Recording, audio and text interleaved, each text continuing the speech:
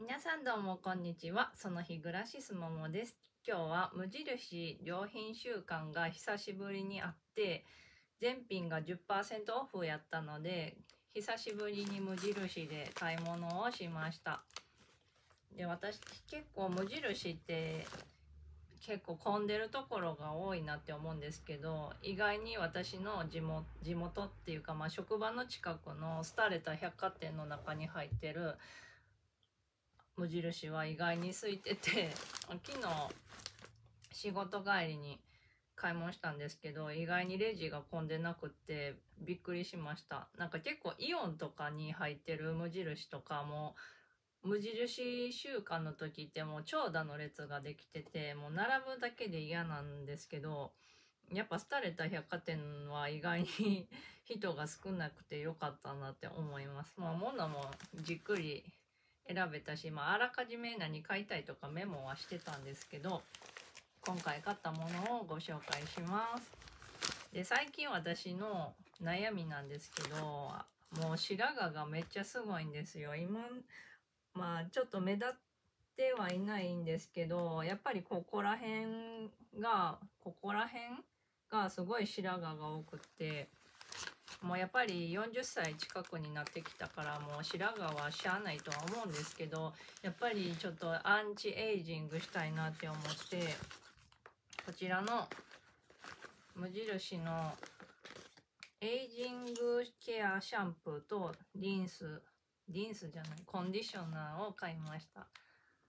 でこの前あの良品週間になる前に試しにそのちっちゃいサイズのこのエイジングシャンプーを買ったんですけど意外にやっぱりシャンプーとかリンスって使うもんなんでその試しにちょっと小さいサイズで試したいなって思ったんですけど意外に香りが良かったです。で使ってる感じもまあまだ使ってそんなに経ってないってこともあるんで白髪に効くとかはわからないんですけど私は使用感がそんな嫌じゃなかったんで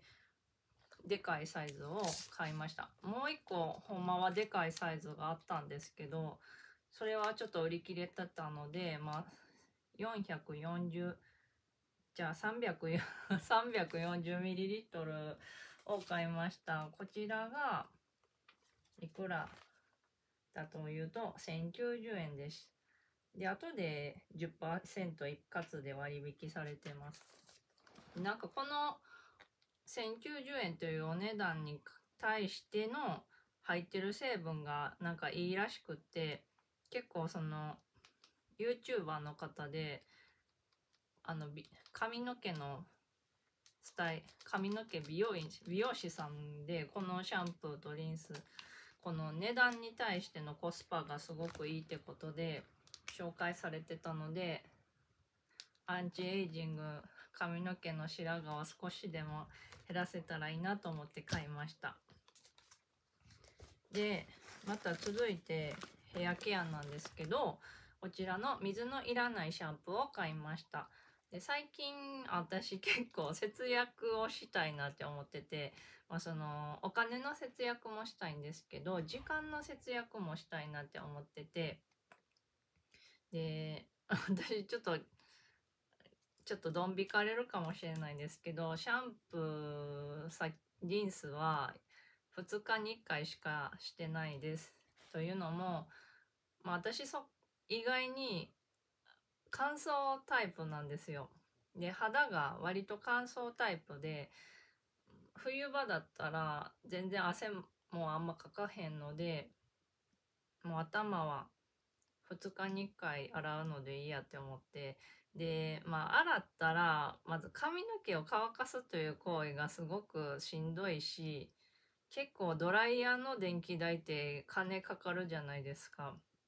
なので、まあ、おかその髪の毛乾かす時間もすごい時間私まだ結構髪長いので時間がかかるので今回今回というか結構2回目に買ったんですけど水のいらないシャンプーということで買いました。でこちらが890円なんですけどこれもリピート2回目なんですけど意外に良かった、まあ、こういうのってその場しのぎっていうか災害の時用とか、まあ、風とかでお風呂に入れない時とかに昔よく売ってたやつなんですけど無印からも出てるってことで買ってみたら意外に良かった。意外にってなんか失礼なかもしれないんですけど良かったです。で今回これ買ったのはまだ残ってるんですけどちょっと災害用のリュックとかにも入れておきたいなと思って買いました。まあ、やっぱり備えあれば憂いやし な憂いなしだと思ったのでやっぱりあの災害起きた時ってお風呂に入れないことも多いやろうなって思って、まあ、これ1本あったら安心かなって思って買いました。で続いてがヘアゴムです。でヘアゴムって結構消耗品やなって思って無印のヘアゴム割とまあ消耗品ではあるんですけど意外に持つかなって思って買いました。黒と茶色があるんですけど私は茶色にしました。でちょっとぶ太い太めのやつです。こちらのお値段が90円です。で最後に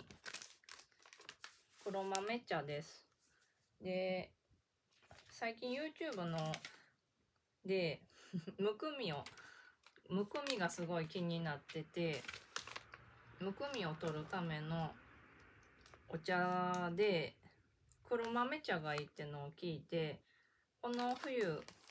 今年の1月ぐらいから結構飲んでるんですけどめっちゃむくみ取れました。私いつも靴23.5の靴を履いてて、まあ、それでも結構きつかった時があったんですけど最近23.5の靴がスカスカになってワンサイズ22ぐらい22.5ぐらいの靴でもスカスカになるぐらいの